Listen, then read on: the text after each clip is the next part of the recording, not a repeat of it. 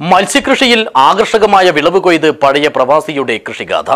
രാവണേശ്വരത്തെ P. മഞ്ജുനാഥാണ് Covid കാല കൃഷിയിൽ മാതൃകാപരമായി വിജയം നേടുന്നത്. ആസാം വാളയുടെ വിളവെടുപ്പ് നാടിന് ചാകരയായി. കാൽനൂറ്റാണ്ടോളം നീണ്ട പ്രവാസ ജീവിതം അവസാനിപ്പിച്ച് നാട്ടിലേക്ക് വന്ന മഞ്ജുനാഥ് തെങ്ങ് വാഴ കവുങ്ങ് പച്ചക്കറികൾ ഔഷധ സസ്യങ്ങൾ എന്നിവ കൃഷി ചെയ്തു വരുന്നതിനിടയിലാണ് മത്സ്യകൃഷിയിലേക്കും തിരിഞ്ഞത്. കൂടാതെ പശു വളർത്തലിലും കോഴി വളർത്തലിലും തൽപരനാണ് ഈ ഗൃഹനാഥൻ. ഭാര്യ പ്രമീളയും മക്കളായ പ്രമിത്രാജും മിഥുലയുമാണ് കൃഷിയിലെ ഏറ്റവും വലിയ പിൻബലം. കോവിഡ് പ്രതിസന്ധിയെ മറികടക്കാനും ഭക്ഷ്യസുരക്ഷ ഉറപ്പാക്കാനും സംസ്ഥാന സർക്കാർ നടപ്പാക്കി വരുന്ന സുഭിക്ഷ കേരളം പദ്ധതിയിലൂടെയാണ് മത്സ്യകൃഷിയിലേക്കുള്ള മഞ്ജുനാഥിന്റെയും ചുവടുവയ്പ്. അജാനൂർ ഗ്രാമപഞ്ചായത്തിന്റെയും ഫിഷറീസ് വകുപ്പിന്റെയും സഹകരണത്തോടെയാണ് കൃഷി. ഫിഷറീസ് വകുപ്പിൽ നിന്ന് ലഭിച്ച ആയിരം മാസം വാളക്കുഞ്ഞുങ്ങളെ എട്ടു മാസം മുമ്പാണ് കുളത്തിൽ നിക്ഷേപിച്ചത്. അവയാണ് ഇപ്പോൾ വിളവെടുക്കാൻ പാകത്തിൽ എത്തിയിരിക്കുന്നത്. Kanhangad M L A E Chandrasekharan വിളവെടുപ്പ് ഉദ്ഘാടനം ചെയ്തു. സർക്കാർ ഈ പ്രോത്സാഹനമെല്ലാം കൊടുത്താൽ അങ്ങനെ ഉൽപ്പാദിപ്പിക്കപ്പെടുന്ന മത്സ്യത്തിന് മാർക്കറ്റ് കണ്ടെത്തുക എന്ന് പറയുന്നത് ഒരു പ്രധാനപ്പെട്ട വിഷയമാണ്. അതിൽ ഒരു കാര്യം നമ്മളൊക്കെ തീരദേശ മേഖലയിൽ ജീവിക്കുന്നവരാണ്. അതാണ് പഞ്ചായത്തിന്റെ ഒരു ഭാഗം തന്നെ കടലാണ്. അങ്ങനെ കാഞ്ഞങ്ങാട് മുനിസിപ്പാലിറ്റി ആയാലും അത് സമീപ പ്രദേശങ്ങൾ നമ്മൾ എവിടെ തീരദേശത്തുള്ള പഞ്ചായത്തുകൾ നോക്കിയാലും അവിടെ കടൽ മത്സ്യം യഥേഷ്ടം ലഭ്യമാകുന്ന ഒരു സൗകര്യമുള്ളവരാണ്. അതല്ലാത്തിടങ്ങളിൽ പുഴ മത്സ്യം ഉൾപ്പെടെയുള്ളത് ലഭ്യമാകാനുള്ള സംവിധാനമുണ്ട്. അപ്പോൾ അതുകൊണ്ട് തന്നെ ഇതിന് മാർക്കറ്റ് കണ്ടെത്തുക എന്ന് പറയുന്നത് കുറച്ചുകൂടി പ്രയാസമുള്ള ഒരു സാഹചര്യമാണ് എന്ന് നമുക്കറിയാം. ചടങ്ങിൽ അജാനൂർ ഗ്രാമപഞ്ചായത്ത് പ്രസിഡന്റ് ടി ശോഭ അധ്യക്ഷയായി.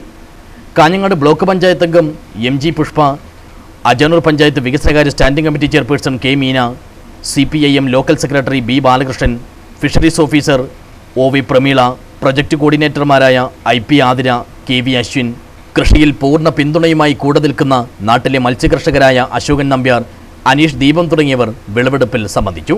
വിപണി കണ്ടെത്തുന്നതിൽ മാത്രമാണ് ചെറിയ തോതിൽ വിഷമതകൾ നേരിടുന്നതെന്ന് മഞ്ജുനാഥ് പറയുന്നു. വാഴക്കൃഷിയായാലും കഴുങ്ങിന്റെ കൃഷിയായാലും മറ്റ് നെൽകൃഷിയും അതോടൊപ്പം തന്നെയാണ് സുഭിക്ഷ കേരളത്തിന്റെ ഭാഗമായിട്ടുള്ള പദ്ധതി മത്സ്യകൃഷിയുമായിട്ട് ബന്ധപ്പെട്ട് വന്നത്. ആ മത്സ്യകൃഷി തുടങ്ങുകയും നല്ല രീതിയിൽ അതിന്റെ മറ്റേ മത്സ്യ ഡിപ്പാർട്ട്മെന്റിന്റെ സഹായങ്ങളോടു കൂടി അതിന്റെ പ്രൊമോട്ടർമാർ സഹായിക്കുകയും ചെയ്തിരുന്നു. അപ്പോൾ നല്ല രീതിയിൽ വിളവെടുക്കാൻ വേണ്ടി കഴിഞ്ഞിട്ടുണ്ട്. വിളവെടുക്കാൻ കഴിഞ്ഞിട്ടുണ്ടെങ്കിലും വിപണ വിപണന സാധ്യത കുറച്ച് കുറവാണ്.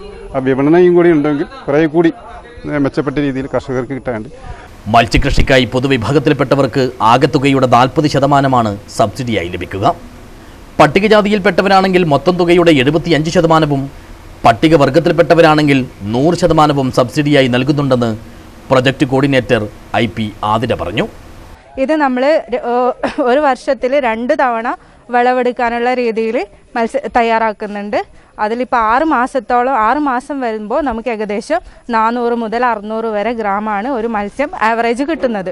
അങ്ങനെയുള്ള മത്സ്യ ഇവർക്ക് നമുക്ക് സബ്സിഡി മൊത്തം പദ്ധതി ചെലവിന്റെ നാൽപ്പത് ശതമാനം രൂപ സബ്സിഡിയും കൂടെ കർഷകന് അനുവദിക്കുന്നുണ്ട്. ഫിഷറീസ് ഡിപ്പാർട്ട്മെന്റും അതുപോലെ തന്നെ പഞ്ചായത്തിന്റെയും കൂടെ സഹകരണത്തോടു കൂടിയാണ് പദ്ധതി നടപ്പിലാക്കുന്നത്. കേരളത്തിന്റെ ഭക്ഷ്യ ഉപയോഗത്തിന് ആവശ്യമായ അത്രയും മത്സ്യസമ്പത്ത് സംസ്ഥാനത്തിനകത്തു നിന്ന് തന്നെ ഉണ്ടാക്കുക എന്നതും ജനങ്ങൾക്ക് കൂടുതൽ തൊഴിലവസരവും വരുമാനവും സൃഷ്ടിക്കുക എന്നതുമാണ് മത്സ്യകൃഷി പ്രോത്സാഹനത്തിലൂടെ സർക്കാർ ലക്ഷ്യമിടുന്നത്. കേരള ഫിഷറീസ് വകുപ്പും തദ്ദേശ സ്വയംഭരണ സ്ഥാപനങ്ങളും സംയുക്തമായാണ് ഈ പദ്ധതി നടപ്പാക്കുന്നത്. News bureau Kanhangad.